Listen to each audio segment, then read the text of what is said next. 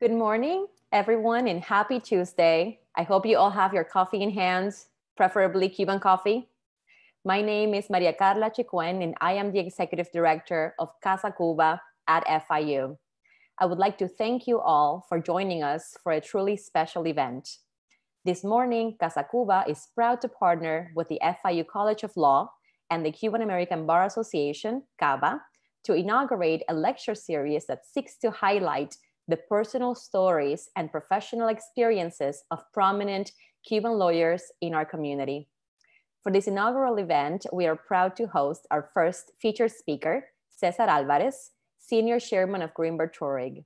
Cesar is also a founding member of the Casa Cuba Board of Advisors and a trustee of FIU. He will be in conversation with Maria Garcia, immediate past president of CABA and one of our shiniest stars in FIU's distinguished alumni community. Before we begin, I would like to share a bit about Casa Cuba.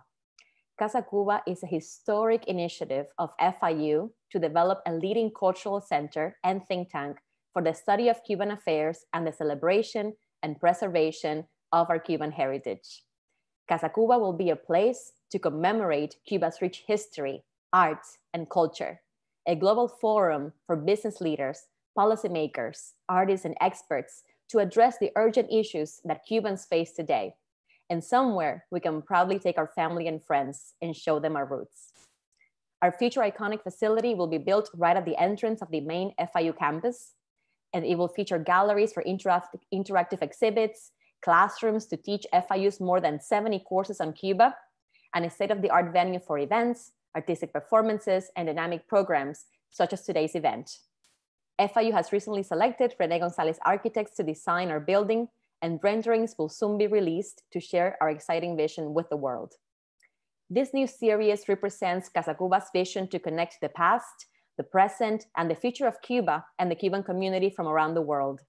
Cubans have achieved exceptional success in the practice of law in South Florida and beyond, and we are proud to welcome these leaders for intimate conversations on their Cuban roots and family story, their inspiring ascent to their present success, and their take on the evolution of the legal industry, including the future representation of Cubans and Latinos at large in the field. I would like to thank Cesar and Maria, two extraordinary leaders, for coming together in conversation this morning and for their long-standing support of our FIU. Thank you also to our friends and partners at the FIU College of Law, CABA, and Greenberg Traurig, and especially to Dean Anthony Page, Jasmine Grant, Lily Space, and Maite Morales for their hard work to coordinate this event. And thank you all for tuning in. I hope to see you at future events in this series and invite you to get involved in the once in a lifetime effort to build our Casa Cuba. I will now turn it over to my colleague, Anthony Page, Dean of the FIU College of Law. Thank you. Thank you very much. Good morning and welcome. Thank you all for being here at this event put on by Casa Cuba, the Cuban American Bar Association, and FIU Law. Now, uh, FIU Law, we are still a very young law school, having graduated our first class only 15 years ago. In that time, however, our graduates have been very successful. You probably already know about our bar success number one again in the most recent Florida bar, and number one in eight of the last 11 bar exams. But actually, our graduates do even better than that. The ABA in February did a study where they adjusted based on the difficulty that each graduate, the difficulty of the bar exam that each graduate was taking. And then they ranked all the schools based on their graduate performance. And FIU Law came in there, not just first in Florida, but second overall across the entire United States. Even more important than the bar, however, is our graduates' employment success. And based on the data from the most recent class, and depending on how you rank different kinds of jobs, we're either first, second, or third among Florida's 12 law schools. Now, I tell you this in part because our speaker today, Cesar Alvarez, was instrumental in getting this law school founded in the first place.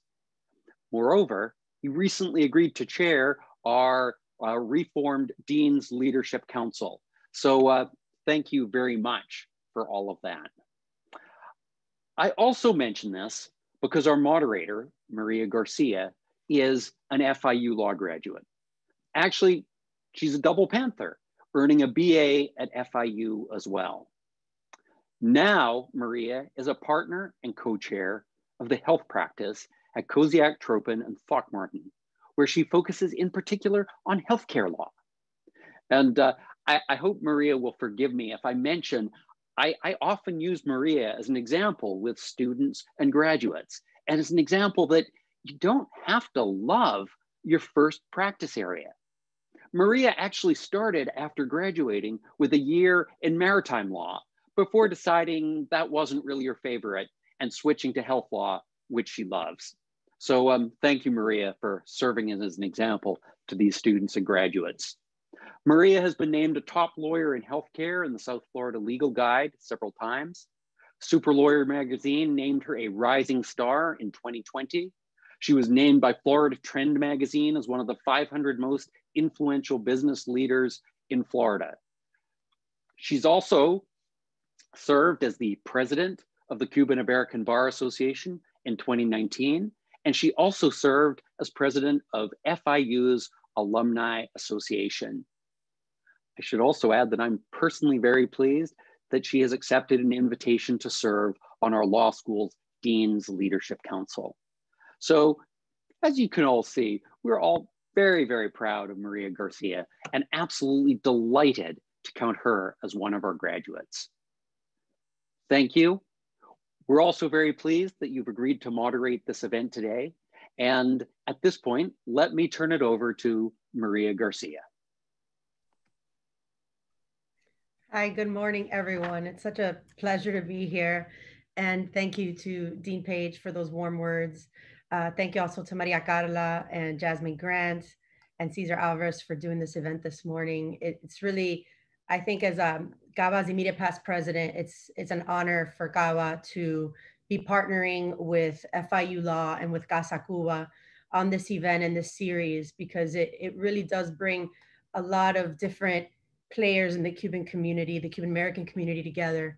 And it truly is important that we share our stories, stories like Cesar's about his, you know, his challenges and his successes and all the wonderful things he's done in the legal community and our legal and our community at large. So I think this is a perfect way to start this program.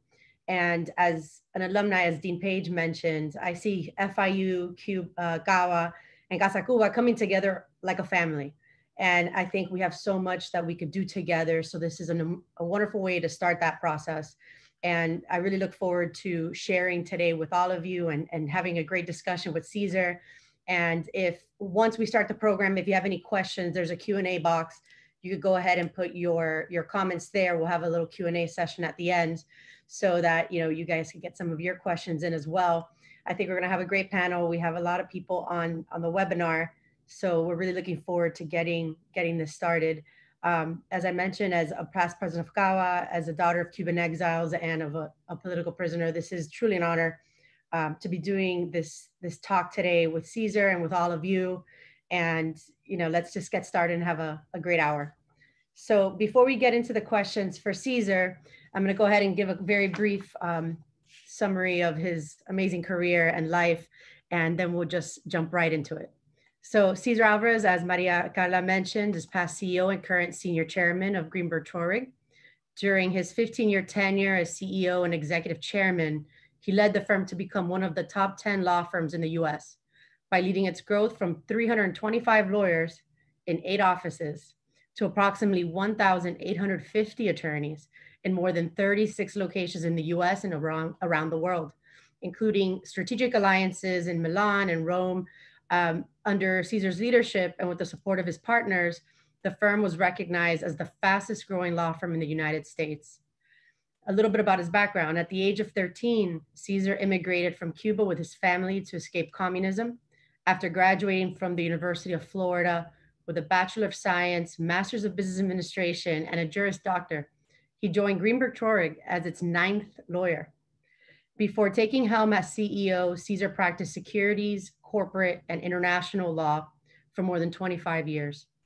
Throughout his career, he has represented numerous public companies and currently serves on the board of directors of several publicly traded corporations, private companies, and charitable organizations. He has been recognized nationally and in his community for his professional business and charitable leadership. Most recently, Cesar was honored with the American Lawyer Media 2018 Lifetime Achievement Award, Ernst & Young 2017 Entrepreneur Lifetime Achievement Award, Chambers and Partners Lifetime Achievement Award, the ABA Spirit of Excellence Award, and the Hispanic National Bar Foundation Lifetime Achievement Award. So as we could see, Cesar is extremely accomplished and an honor for the Cuban and Cuban American community. And it's, it's great to be here with him today. So we're just gonna jump into some questions we have for Cesar again. At the end, if you have any questions, put those in the Q&A uh, chat box and we'll try to get to, to those as well. So Cesar, to get started, um, I think we could start with your history as when you came to the US and then move into your legal career and also some advice for law students and young lawyers, who I think we have quite a few on today. So just to get started, if you could tell us a little bit about your journey to the US, how you got here and what have been uh, the biggest challenges professionally and personally for you as someone who came to the US and has succeeded to this day. Thank you, Maria. And uh, I would like to thank everybody that has already been thanked. I won't go through the list, but we can get right into the questions. But I'm, uh, uh, I'll repeat the, the, same thanks that were given. Um, you know, when I uh, when I do anything in life, uh, any meeting, any thing that I undertake, I, I, I first try to define what winning is. What, what would winning be? So for me, there is a winning in doing this program. And the winning for me is is passing it forward, is is is doing what other people had done for me, and hopefully trying to do that for somebody who's on the line today. So if 20 years from now, somebody who's on the line today was motivated to be on the board of directors, was motivated to, to get into a leadership position, if, if just one of you do that, I would consider this a, a big one. And I hope there'll be a lot more than that, but that's my, my goal. My journey to the, to the US was uh, very typical, Maria, of, of so many, so many of us who live in Miami today and, and are part of the exile community. Um, uh, my, uh, uh, I migrated here at, at, on June 28th of 1960. Um, as you know, when, in those days when you were trying to leave Cuba, you, you, your parents couldn't tell you you were going to leave Cuba because you could let it out, and if you let it out, and people knew you were going to leave, it would make life very uh, difficult for you. So I did not know we were leaving to the, the U.S. Uh, there used to be a ferry that went from Havana to Key West. And the reason people would take that ferry is because you could take your auto that would be the only possession that you landed in the United States with, but at least you have something to drive around. So we, we took uh, the ferry. Uh, I was awakened, uh, in fact, it was a Tuesday morning, I still remember it, and I was told we were going on a vacation to the US. And I found it very strange that I was wearing a lot of gold medals and, and gold things that I had in my pocket, et cetera. I didn't quite understand why we needed that including some silverware. And I, I thought that the United States was a fairly civilized country, and they actually they have their own silverware, but uh, we brought it anyhow. And um, and we took the ferry, and as I remember, um, we were playing on the top of the ferry. I had there's four four kids in our family, and all four of us were running around on top of the ferry. I was 13 years old uh, at the time, and I look back and I see my mother and father looking back from Havana Harbor towards El Malecon, which is a beautiful, beautiful sight. And they're crying. And I say to myself, I didn't know, I said, this is going to be a hell of a vacation. They're already fighting, and, uh, you know, what's going to happen here? Uh, because they, they couldn't tell me. And, and it wasn't until we landed in the US that my parents uh, told us what had happened and what would happen. And my father uh, did something that was very strange at the time. He moved us in 1960 to North Miami. Um, North Miami in 1960, there was not a Cuban within a 10 mile radius of what I grew up. And he did that very intentionally. Uh, he did it because he wanted us to, to assimilate to the new, new world. And, uh, and we did. And I, you know, I remember X number of months that I was going to school, didn't understand much of what's going on. I was crying. I wanted to go back to Cuba. I wanted to to see my little girlfriend that I left behind. And you know, my kid said, "Well, why didn't you text her?" Uh, I said, "Well, you know, I don't think you could text at, at, at the time." Um, th- those were very, very, very hard and difficult times. But I went to North Miami High, where there were 5,000 students. There was, out of the 5,000 students, there were two Cubans, myself, and some other fellow, and a black student. That was it. That was it. And, and about half of the kids were Jewish Americans. Uh, about the other half were the typical Irish American, German American, that kind of blend, etc. And I had to assimilate. I had to figure out how to get it done. And that immersion, that there, there was no plan B, there was only plan A, uh, was really what motivated all my life because I have never thought that I could fail at anything because I didn't have the margin to do that. I didn't have somebody that could possibly give me. My parents would have given me anything they had. They just didn't have it. and, and, so you live with that and you live with, with, with that tenacity. And I, and really my, my Cuban parents, the thing that they instill in our heads so much was if somebody else has done it, you can do it. If somebody else has done it, you can do it. So whenever I would, you know, having issues, etc., they say, has anybody else done it? and if I said yes, he says, well, then you can do it. Um, and so that was a pretty, pretty big uh, motivator for, uh, for, uh, me. I also happen to have uh, a, a, a, a, very, uh, uh, it was very well known at the time. I, I have a brother, Carlos, who was an All American, he was the first All American player in football and I don't, I don't know how long. I mean, I. It was, uh, and he was the first Cuban to actually make it in the United States on something at that scale, where he was a consensus All-American. He had every honor that you can imagine, etc. Um, and that was a good, uh, good thing. So I, I have always seen uh, and been around that Cuban success, the Cuban success of we don't have plan B we're making it, we're making it, we're making it. And that, uh, that positive attitude, even though I have had hundreds of failures, but the fact that your parents expected you to get up, dust yourself, stop feeling sorry for yourself, and move forward uh, has stayed with me all my life. And I think if I were to say what was an experience of, of, of, of being a Cuban exile, that was it. And, and the other part of that is that I, I feel very strongly, and I've said this many, many times, that my parents' generation that brought us here is the greatest Cuban generation ever. What they did for us, how they sacrificed their life entirely. They worked menial jobs. They did whatever they had to do because they wanted us to be educated and do better.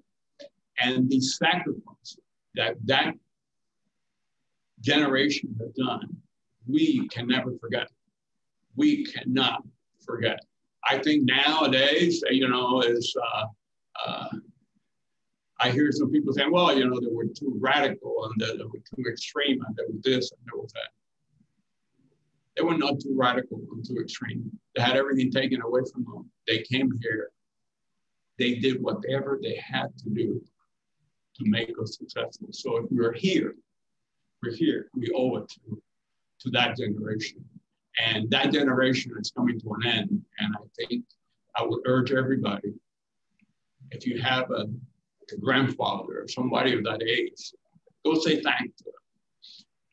They would really appreciate it. Yeah, and and Cesar, I think that you know that reflects what so many you know families came to this country and, and lived through and and i completely agree with you that i think that you know we are taught I, I, was born here but my parents obviously came from cuba and they always taught me you know failure is not an option. You're in this country you have great opportunity and you could go as high as you want to and that there isn't a plan b. You know like when you came over like you were saying there you were it, it, your parents it was obvious they were not going back right? You know, they you, you remember that so vividly that they were crying on the ferry.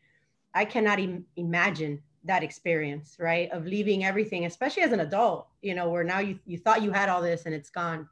Um, so I think that that's a really touching story, and and it's such an experience that I imagine shaped you um, so much. And and I think that now when we talk a little bit about your career and what you've done in the law, um, if you could start off by saying these lessons that you learned from your parents which one would you say and you've talked about so many but what would you say is the the leading one that has influenced you as an attorney and as a leader in our legal community? Which one would that be? If you had one single one you could tell the audience about. Well my uh, i saw leadership from my parents and the leadership that i saw in my parents was servant leadership. It was not autocratic leadership it was not, I'm the boss and you're not leadership. Uh, it was leadership that the way that you led is by serving the group that you were serving and, and, and never thinking of yourself as the boss or the CEO or anything to that level. And so that's how I apply my life. I, I think if you talk to people at Greenberg Traurig, they would tell you that I always say, I work for you guys. That's my job is to work for you guys. It's not the other way around. And um, and all my assistants I ever had, I have made it a point to to let them know because this is something that can happen to your life is that your assistant needs to reflect your personality, not their personality. And many times that happens. And so you know, an assistant can be short with your partners, can do, and, and what do they think? They think it's coming from you. so my assistants know that if any partner anywhere in the world calls and says he needs me and needs to interrupt me, that they're to interrupt me. If the partner says she needs me, now the truth of the matter is I've been interrupted twice uh, because she will say, look, he can talk call you in an hour but if you want me to interrupt them, I will. Again, these are small things, but these are the things that tell people that you believe in a leadership approach, which is to motivate them to get to the next level, to, to reach that, that improbable goal that people think that you cannot achieve. And I can tell you that at, at uh, at, at Greenberg Park, when we were growing, uh, I would tell you that when we were in Miami and we wanted to go to Fort Lauderdale, everybody said, well, you know, you guys did well in Miami, but you're going to fail in Fort Lauderdale because in Fort Lauderdale, that's all the people who left that didn't want to be in Miami and you're going to fail. And so we went to Fort Lauderdale and we didn't fail. And then, then we went to Palm Beach. And again, we had all the consultants tell you that you were going to fail. And so uh, I have been told all my life what I cannot do, what we cannot do, and, and all very good reasons why you cannot do it. They all sound damn logical of some. But as I say, our, our success has been mostly because we were too dumb to understand good advice.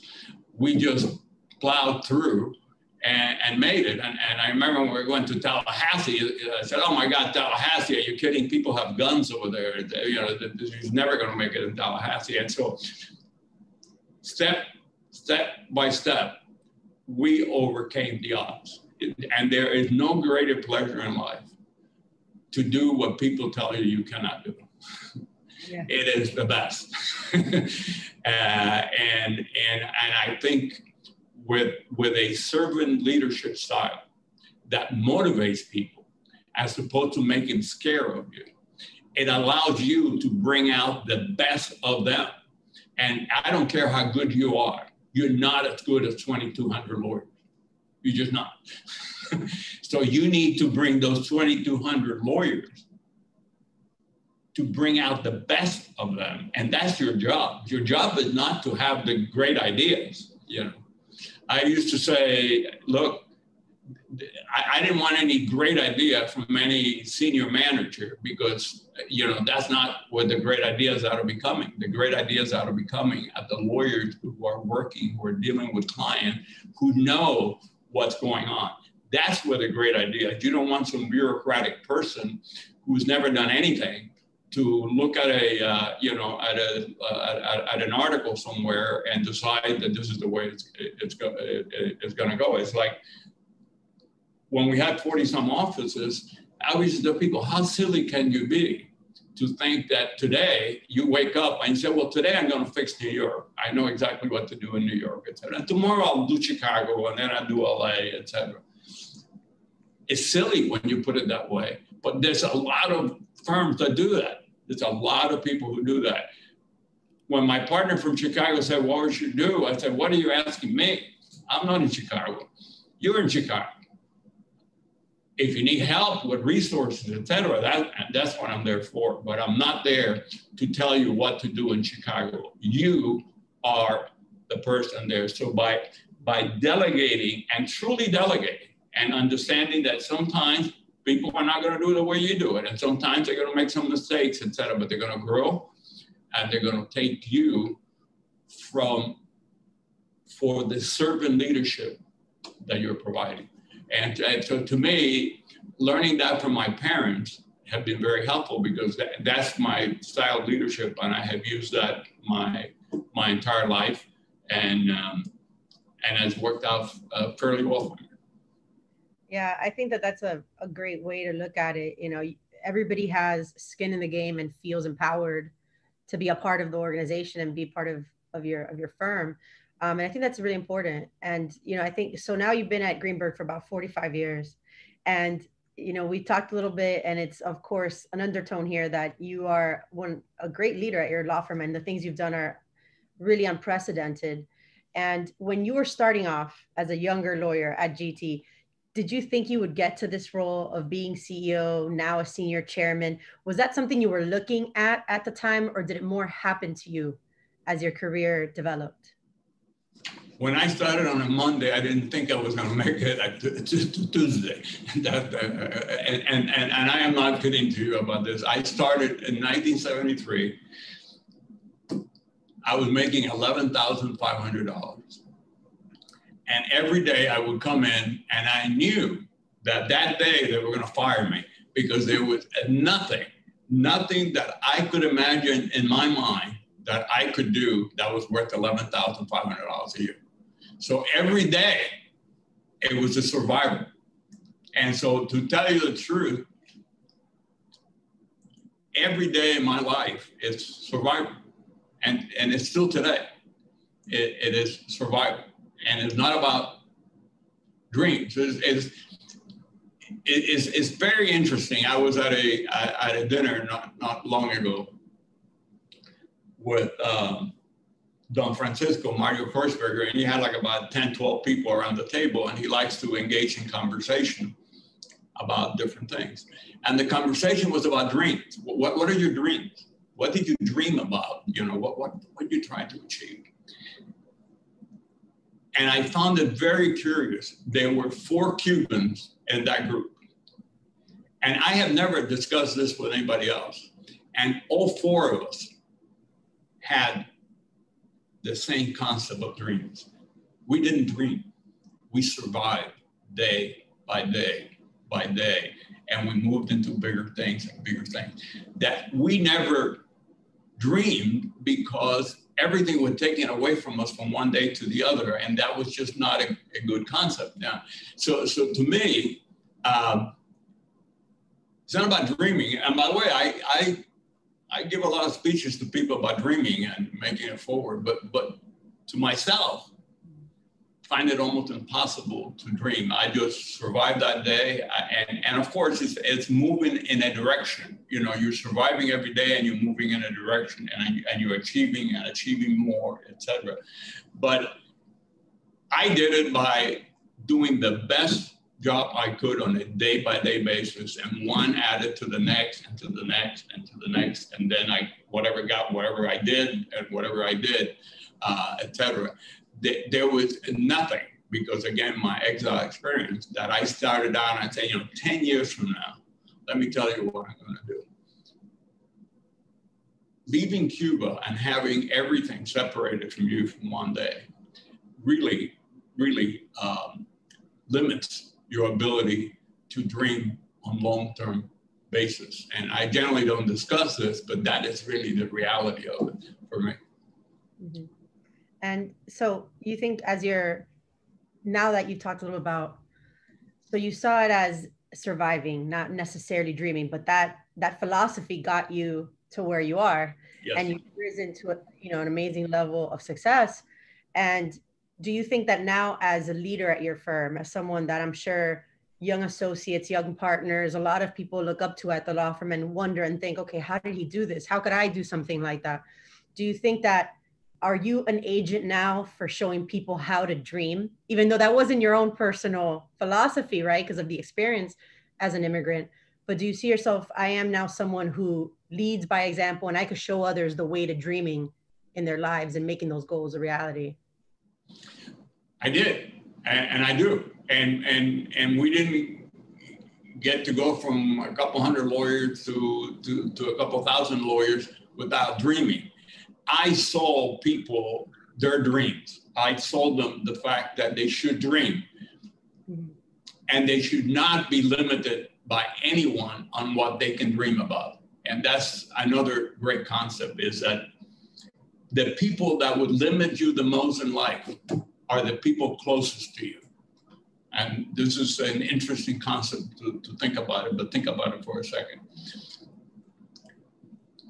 If you go to your parents and you say, you know, I'd like to be the CEO of General Motors, they're going to say, well, you know, I want to hurt hurt you. You know, you shouldn't really be dreaming that big. Maybe, maybe you can be to a smaller corporation. Maybe you can do this. Maybe you can do that, because they don't want you to be hurt because success, there is a lot of hurts along the way to success. It's a lot of times you're gonna you're gonna fall down and you're gonna have to get up and dust yourself. Our parents, my parents, didn't view it that way. to them was somebody can do it, you can do it, and if you got to get up 10 times, you get up 10 times. They were not concerned that I was going to scrape my knees or my elbows and I was going to cry and I was going to do that. That was not what was going on. So I always say to people, don't let anybody limit you. You got to dream as big as you can possibly dream. And if you can dream it and if you can visualize this, you can get there. I'm not telling you it's going to be easy. I'm not telling you that there are going to be some issues along the way but you can get there. So yes, I am very, very big in in in in advocating for dreaming. Even though, even though, as I'm telling you personally, I myself I'm much more limited. I gotten around to it. I, I obviously I gotten around to it, but not everybody has the, the, the experience that everything was taken away from them from one day to the other. And so so so the ability to dream is different. The biggest problem with dreams today is that people who are closest to you are going to take it away from you. and you're going to say, no, Maria, you know, you have to stay in, in, in, in maritime law because you can't be a healthcare lawyer.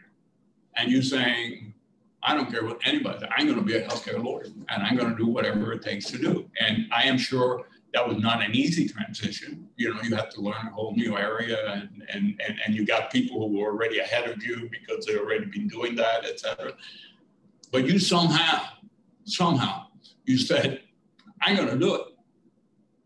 And I'm sure there was someone, I can almost count on it, trying to talk you out of it. and trying to say maybe this is not a good idea. You know, maybe you have a pretty good practice here. Maybe don't do that. Maybe don't do the other thing. And and and you overcame all that. Yeah, you know, you know, it was um, you know, after one year of maritime, I think sometimes in, in the law it becomes important what you know you don't like, right? So right. after 10 years, you know, now being a healthcare lawyer for 10 years, the it just felt, you know, like kind of like you were saying, you're surviving, right? You're not even thinking about it sometimes. You just say, this is what I'm gonna do because it's what I, I feel is the way for me, right? In my life and professionally, that's how I felt years ago. Um, and when you talk a little bit about the that success is a road paved with challenges, right? Challenges, hard work, probably gonna get disappointed sometimes. And that's why people sometimes who love you limit you, right? They don't want you to feel hurt. Um, now, as after your long career at, at GT that continues to this day, um, what are some of the lessons you've learned right on the on the road to success? What are some of those lessons you could give to young uh, law, law students to young partners young associates? What are some of those lessons you've learned on that way to success? The probably the biggest lesson i learned is a quote that i often use when i'm trying to motivate my partners etc that the road to success is dotted with a lot of comfortable parking spaces because that's the next thing that happens to you. You become a little bit successful and you say, hey, this is a pretty good parking space here. I'm going to pull in and try to take some of the pressure to myself. And if you pull into any of those parking places, you will not be the success that you can be. You got to let those comfortable parking spaces go by and challenge yourself again and again and again and again on a survival, on a dream, or whatever it is, but you got to keep challenging yourself. They will be comfortable parking space. You will uh, feel like taking it, and you have to have the fortitude to say, no, I can actually do better than that. I, I, I can get to the next comfortable parking space. And when I get to that one, I'm going to get to the one after that. And I think people who are pretty successful are never quite satisfied with what they are. They, they don't know how to take the comfortable parking spaces. If you knew how to take the comfortable parking spaces, you would not achieve at those levels. That has been a very clear lesson, you know, in my life, along with not letting anybody limit you. Uh, don't let anybody limit you. And and and uh, and so anyway, we're ready to discuss that. But to me, that that was a great lesson uh, in life is is to keep going to the comfortable parking spaces. Look, I, I at one time I was, you know, I used to work incredible hours, uh, you know, uh, and I remember my my my lifelong partner, Matt Gorson, who's a great real estate lawyer, and and we've been partners for almost 50 years. You know,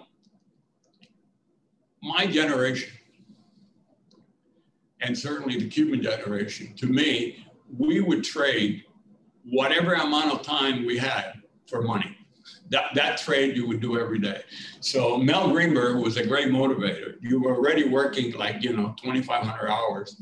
And he would say, by the way, if you work 2,700 hours, I'm going to give you, I'm going to give you an extra thousand dollars at the end of the year. And I would sign up for that immediately. and and Matt used to say, don't you have a calculator? You, do you understand how much that is an hour? You're not getting anything. I mean, you're stupid. and I said, Matt, you don't understand. I said, I'm not working for the money. I'm working for the experience. I'm working because I want to make myself the best lawyer that I can. And the only way, the only way you're going to become a great lawyer mm-hmm. it's not by just reading books. It's by doing transactions, by doing negotiations, by being in litigation, by doing. I, I always thought law in itself is not difficult, but the time commitment that it requires is huge. So for you to be successful, you need a major time commitment. And what I saw was the opportunity, not what they were paying me at the time, because really I was looking, which in my generation was easier to do, I was looking 10, 15 years down the line. not whatever I was going to get paid that, that year. It, it was almost immaterial to me. And, and Mel Greenberg was a, um, you know, I, he used to say that we wanted to have very insecure lawyers that were motivated by money, uh, and because that provided the greatest number of, of hours, and, and I was the perfect candidate uh, for that. I was insecure, and I uh, I was motivated uh, motivated by money, and so he always used to try to push it with the money. And so what I used to do to play around with his mind I was always had a plan, a, a, a, plan of what would happen if I, I couldn't make the money. So I remember we used to get 50% of our compensation was in a salary and 50% of our compensation was in bonuses. I used to live on 50% of my compensation. So I saved 25 of my not to mention the bonuses. So what I used to do to drive him nuts, I wouldn't cash my paychecks. So I would have like six months of paychecks. So I just want to let him know that I didn't need the money. that was my, my, my, my, and he would send the bookkeeper in to say, you, you got to catch a check. You got to do that. But I knew that he knew that I didn't know, I, I didn't I really need that check. And, and so that's how I, uh, I, I, I play a little chess with, uh, with Mel yeah, putting some some bad debt on the on the books. yeah, but, yeah. The, well, you know, the, the, the, way Mel convinced me, you know, I uh, he, he, called me at the University of Florida. I was one of two law students at the time, and, and um, with my brother, so there three of us. And my brother and I were going to come. There were maybe five Cuban lawyers that were bilingual here at the time, and, and we were going to open a little shop and get going and we would have done great because there was nobody else. Uh, you know, very, very few lawyers. So Mel um, called his buddy uh, uh, Glitzberg, uh, who was my, my professor for real estate, and said, is there any Cubans there that you could recommend? Because Mel was the first lawyer in Miami who realized that the Cubans were not going back as quickly as we thought we were going back. He realized we were going to be around. So he wanted a Cuban lawyer to begin to penetrate the business community, what, what was then developing. So he called me and I said, no, Mr. Greenberg, I'm going to do this with my brother. He said, well, come down. I'll fly you down to Miami. I haven't been in a plane, uh, you know, ever. So I, I, took a little, you know, uh, pedal pusher from Gainesville down to, uh, to, to see him because I wanted to see my parents.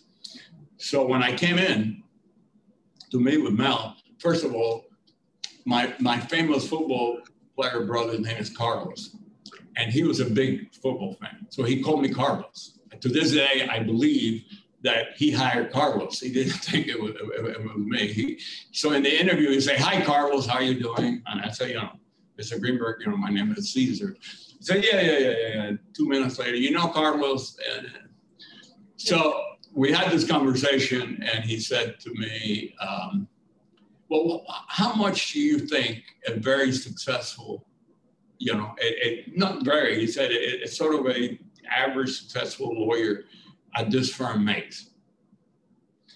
And I said to myself, I know this game, and I, I'm gonna, I'm gonna give him a number so high that he's gonna have to say, well, nobody can make that much money. So I come up with a name, with a number that I thought it was impossible to get to which again, this is 1972, that number was $50,000. So I said $50,000 to him. And Mel was a tall, lanky guy. He leans back on his chair and he starts laughing. Oh, that's happened. He said, Cesar, if on a bad year, a most junior partner doesn't pay $50,000 in taxes, there's something really wrong. So he got my attention.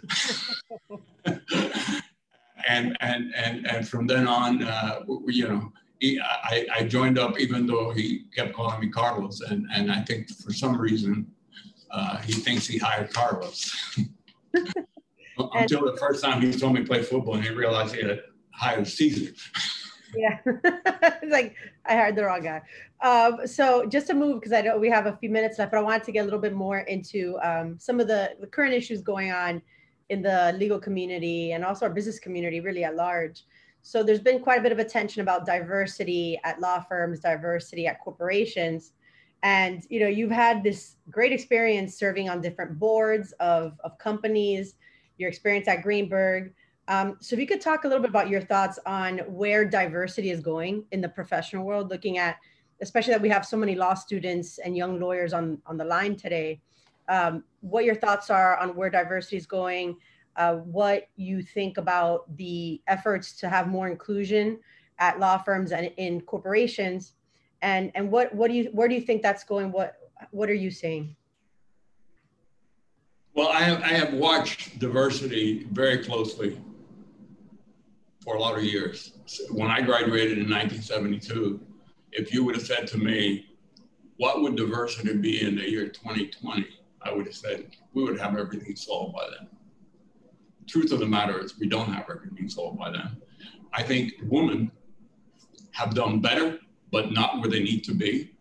And for Hispanics and Blacks, uh, we are pretty much back to where we were before. Now,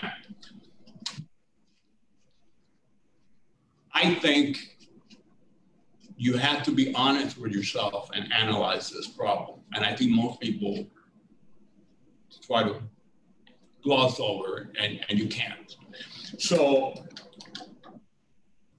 so you have to look at the Hispanic population in the United States if you're going to look at how many lawyers you had. But you have to do one more step in between.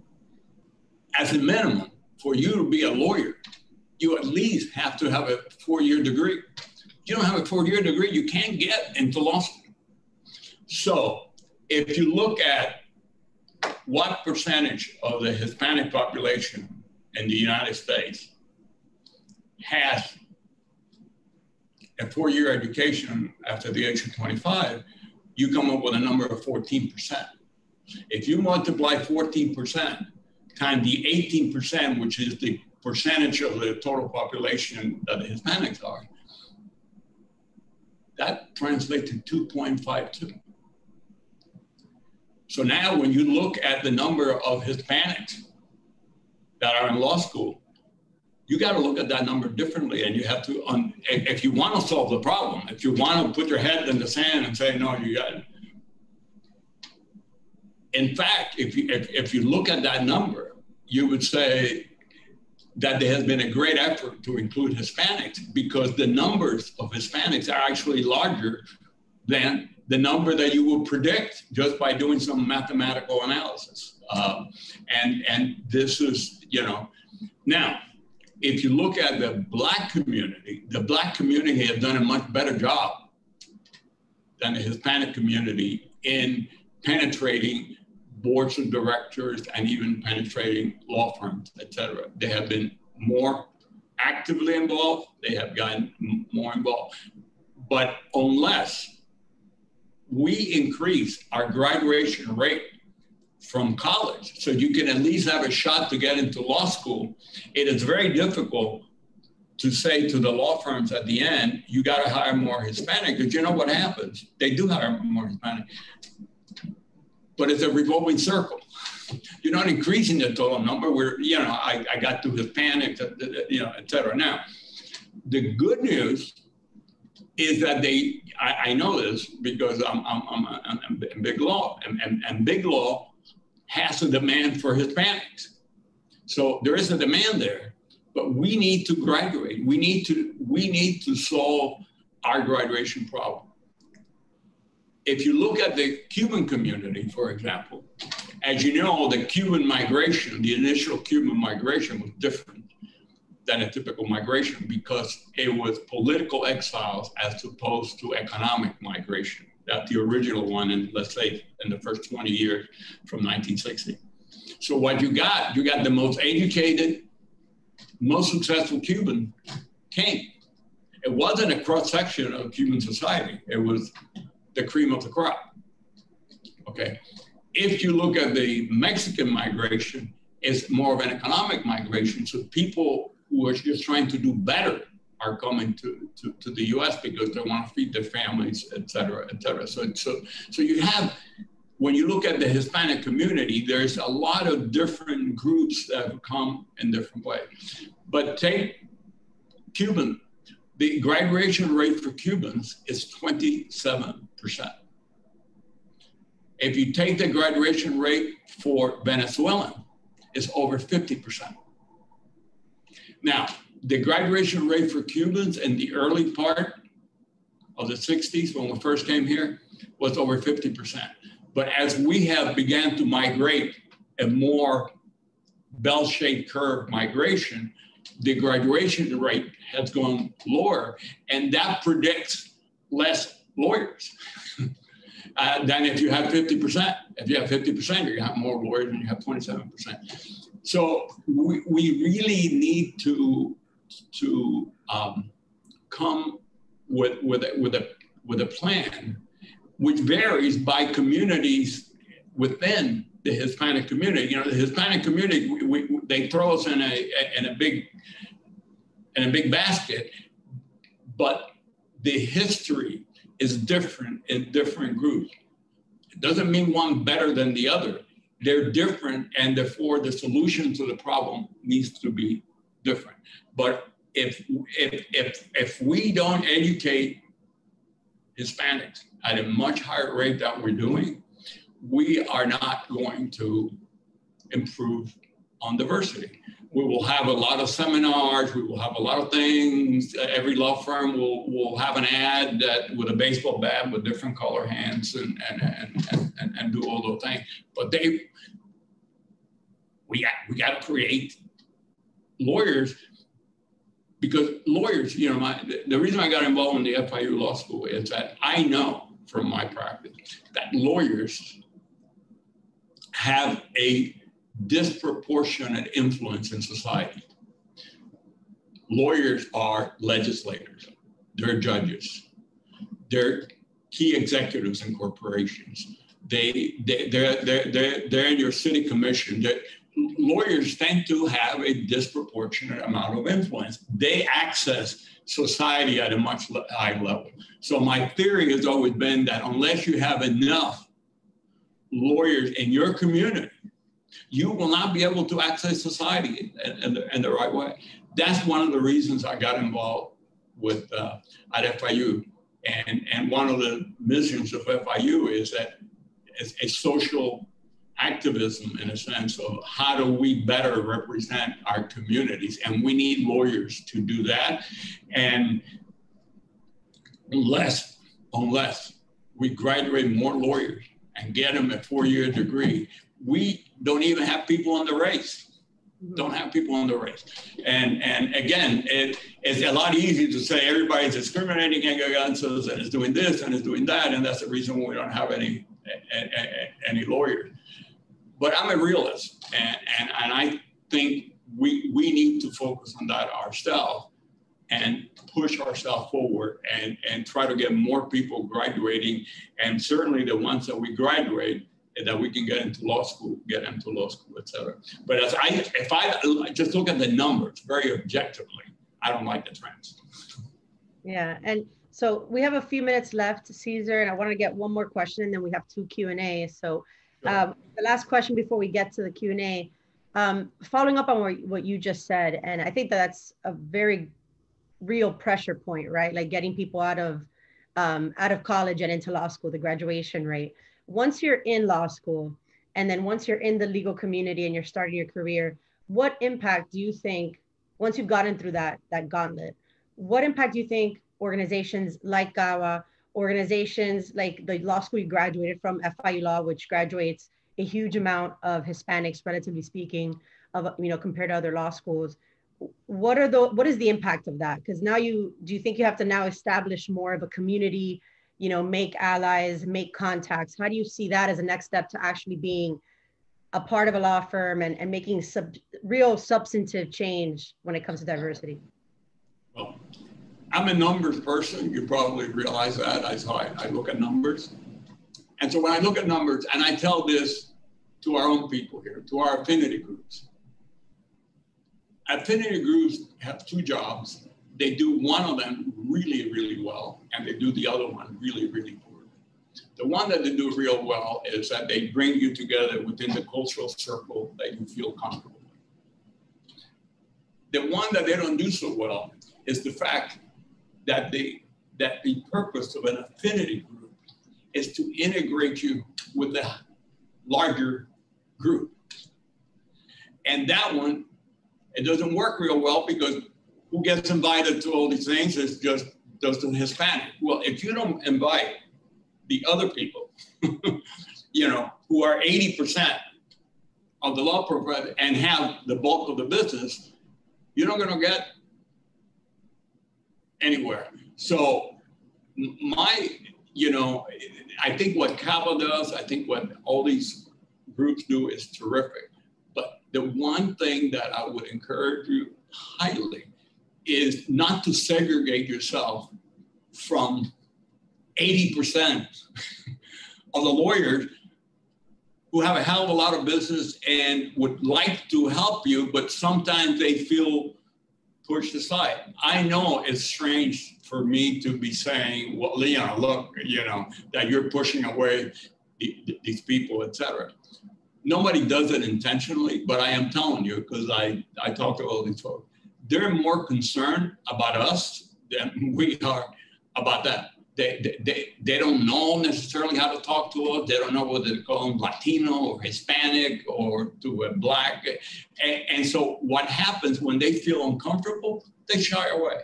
And then if we not only that they shy away, but we have an affinity group that doesn't really bring him in and make him part of it. So to me, the most important, you know, in, in a very weird way, when I graduated from law school, there were no affinity groups. So I had no choice. I had to go and jump in the middle of the fray and just make friends and figure out how I was going to do it. I didn't have anybody saying, come to this little meeting here and it'll just be about us. And so I hope this doesn't come off the wrong way, but you cannot block out 80% of the lawyers who have a bulk of the business and think that you're going to succeed equally. Uh, affinity groups can help you on, on, on cultural things, etc. But you have to realize what the numbers are like and, and what is it that you need to focus on to do well.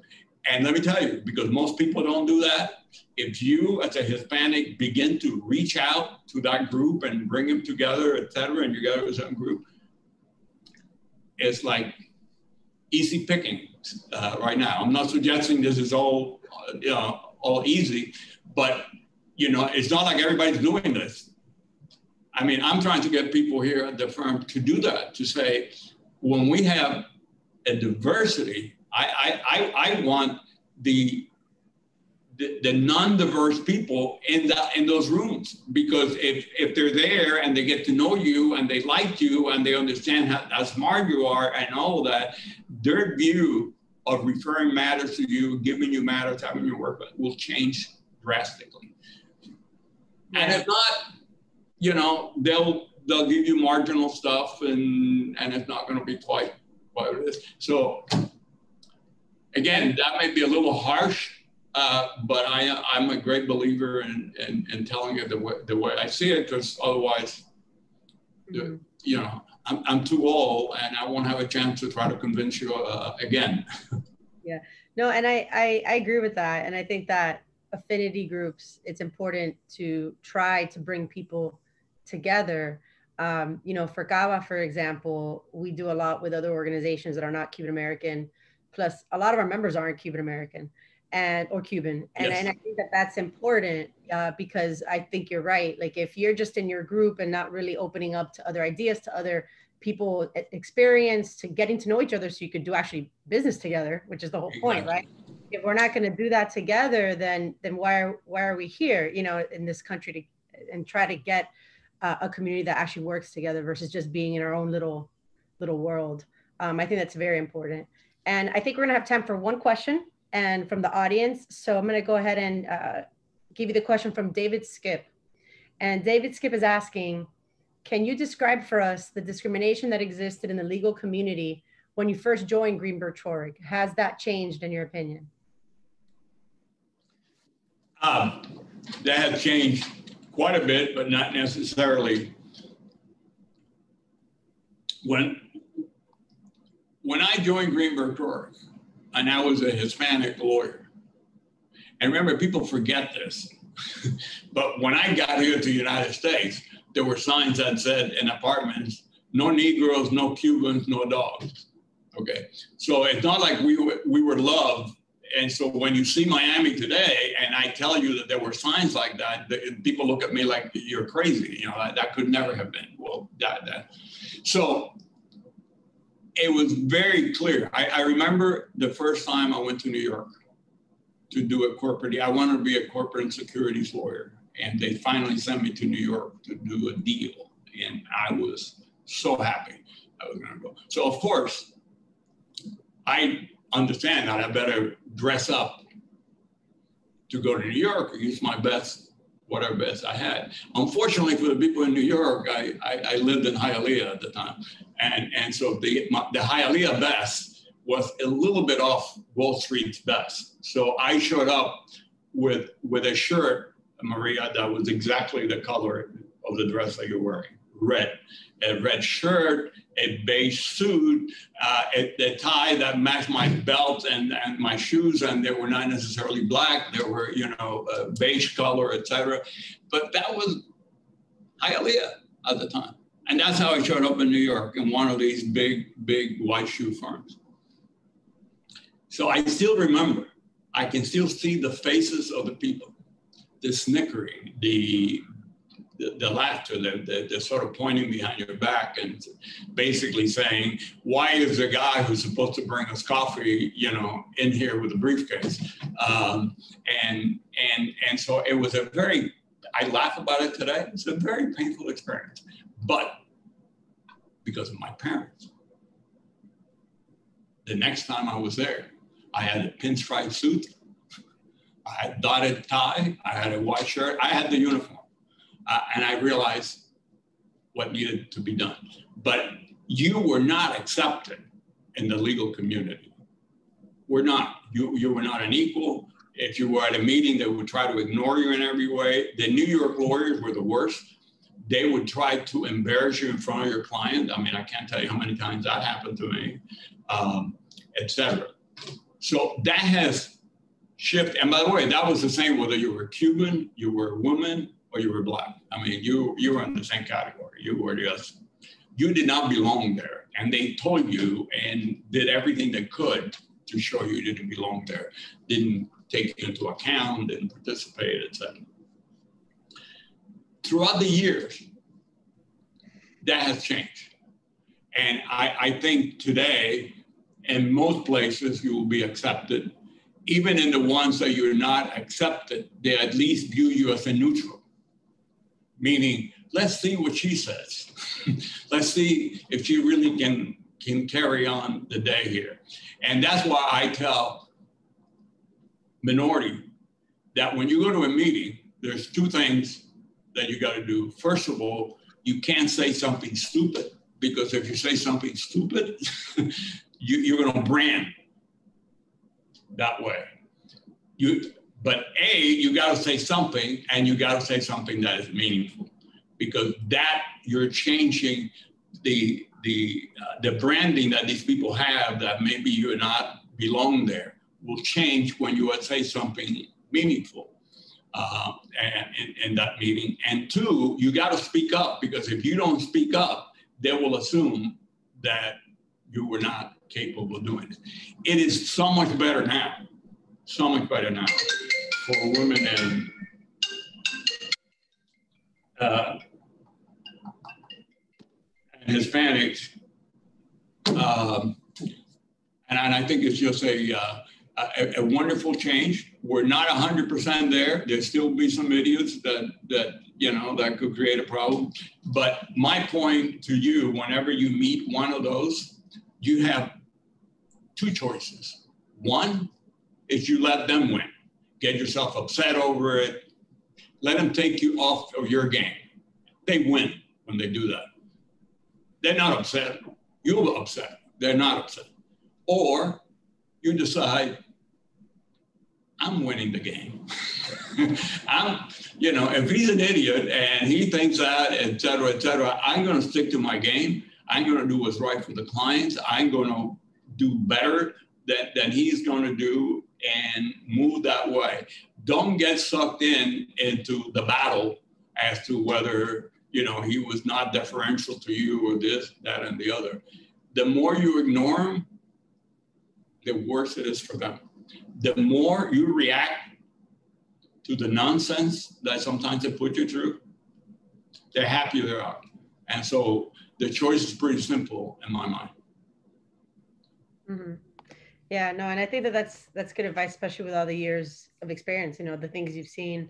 Um, I so I think we have to leave it there. We had so many more questions, Cesar, from you know the Q and A and, and other questions to ask you, but you're we really appreciate all your insight today and and the time you spent with us and to our audience for spending this hour with us. Um, so well, let, let, me tell you what I will do. If any of those folks who needed to want to have a question, etc., if, if, if they were to email me at uh, CA direct at, at gtlaw.com, so it's CA like Cesar Alvarez uh, at uh, gtlaw.com, I will do my best to answer them or to or, or to call them and talk to them. Yeah, no, that's that's a great offer. Um, Jasmine, would you like to say anything else before we go? Okay, great. Well, thank you so much to everybody. Cesar. again, thank you for your time. And thanks to Maria Carla and Dean Page and everybody at CABA and all the NFIU law. We truly appreciate this and Casa Cuba. Have a great afternoon and be safe. Thank you. Thank you, Maria. Bye. Thank you so much.